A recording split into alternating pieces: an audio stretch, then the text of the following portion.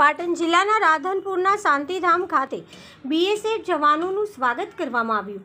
સરહદે રખોપા કરતા ભારતીય સીમા સુરક્ષા દળના જવાનોની બીએસએફ આર્ટિલરીને લઈને આજરોજ રાધનપુર પહોંચી આવેલા તેમાં બીએસએફ જવાનોનું સ્વાગત સ્વામી નિજાનંદ બાપુ, રામ સેવા સમિતિ સદભાવના સેવા સંસ્થાન, રાધનપુર ભારત વિકાસ પરિષદ પ્રાંત અધિકારી ડીબી ટાંક સાહેબ, ડીવાયએસપી વાઘેલા સાહેબ દ્વારા સ્વાગત કરવામાં આવ્યું હતું. સાથે શાંતિધામ ખાતે બીએસએફ જવાનો તથા હાજર મહાનુભાવો દ્વારા મળીને વૃક્ષારોપણ કર્યું હતું. બીએસએફ આર્ટિલરીમાં દુશ્મનોને નિસ્તનાબૂદ કરવાની ક્ષમતા રહેલી છે. બીએસએફ આર્ટિલરી એક ઓક્ટોબર બે હજાર વીસના પચાસ વર્ષમાં પ્રવેશ કર્યો હતો. આ સાયકલ રેલી પચીસો કિલોમીટરનું અંતર કાપીને પંદરમી ઓગસ્ટના અટારી બોર્ડર પહોંચશે.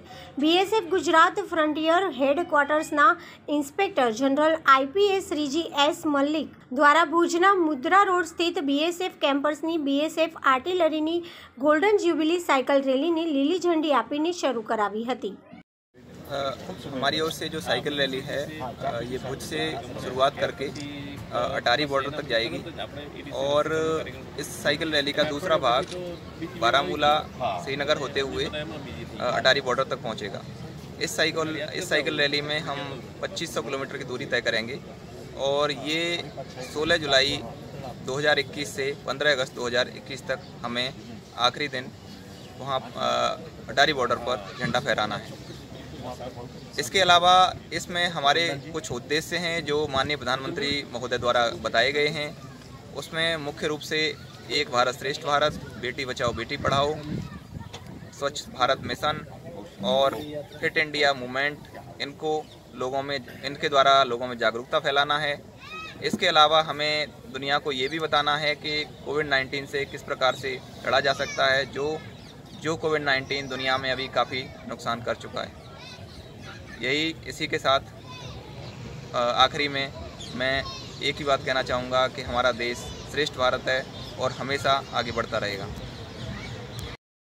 બોર્ડર સિક્યુરિટી ફોર્સ એટલે કે સીમા સુરક્ષા દળ દ્વારા એક સંદેશાત્મક સાયકલ યાત્રાનું જે આયોજન કરવામાં આવ્યું છે એનું આજે અહીંયા રાધનપુર નગરે સ્વાગત થયું છે આ સંદેશો એવા સમયે છે, પંદરમી ઓગસ્ટ સુધી એ લોકો વાઘા બોર્ડર પહોંચવાના છે, અટારી બોર્ડર સુધી પહોંચવાના છે.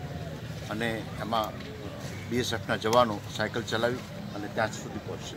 આ સંદેશો એવા સમયે છે કે જ્યારે આપણે પોલ્યુશન એટલે કે પ્રદૂષણથી આપણે જજુમી રહ્યા છીએ. પ્રદૂષણ આપણે ત્યાં એક બહુ મોટો પ્રશ્ન છે.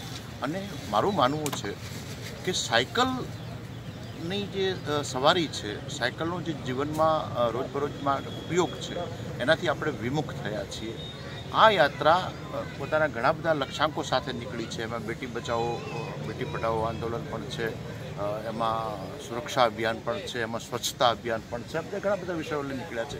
પણ સૌથી મોટો મારા ખ્યાલથી આ મેસેજ જો કોઈ હોય, તો એ છે કે આપણે આવનારા સમય માટે પેટ્રોલિયમને કંટ્રોલ કરવા માટે એના વપરાશને કંટ્રોલ કરવા માટે, પ્રદૂષણને કંટ્રોલ કરવા માટે આપણે સાયકલ અપનાવવી પડશે. અને કમસે કમ બાળક છે ને એ સ્કૂટી લઈને જવાના બદલે સાયકલ લઈને સ્કૂલે જતું થાય કે કોલેજિયન ઘરેથી સ્કૂટર કે બાઇક લઈને જવાના બદલે સાયકલ લઈ અને કોલેજ જતો થાય તો ખૂબ મોટો સંદેશો કહેવાય છે અને એ સંદેશો આપણા આવનારા રાષ્ટ્રના ભવિષ્ય માટે ખૂબ મોટો સંદેશો સાબિત થશે અને બીએસએફે એના માટે ખૂબ સરાહનીય પ્રયાસ કર્યો છે એને ખૂબ હૃદયથી હું આવકારું છું